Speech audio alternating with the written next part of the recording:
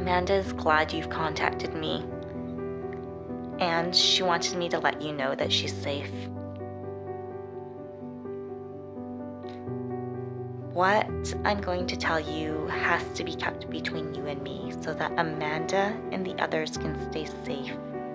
The shelter I'm going to describe to you is different from any other, is off the grid, so that women and children who need extra support can be safe until a better option comes up in their community. Family violence happens across all kinds of families, Priscilla.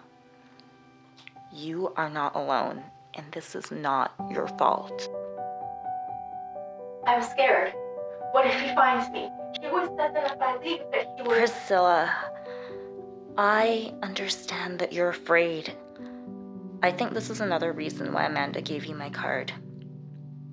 What we'll be asking you to do is to leave everything behind and try not to talk to anyone until you leave the house.